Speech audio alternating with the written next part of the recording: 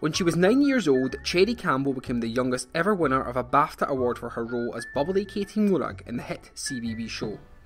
Pancakes! And it isn't even my birthday. The schoolgirl won the Best Performer award for her title role in the series, based on the best selling books by Mhairi Hedderwick. The youngster has become one of the country's biggest child stars thanks to her part in the programme about Katie's adventures with her mum, dad, and little brother on the tiny fictional Hebridean island of Struay.